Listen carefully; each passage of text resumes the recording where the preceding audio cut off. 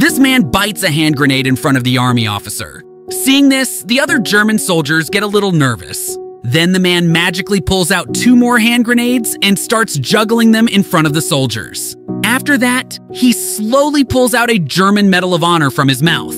The officer sees it and asks him where he got it from. Instead of answering the officer's question, the man takes out a watch from his pocket that belonged to that soldier.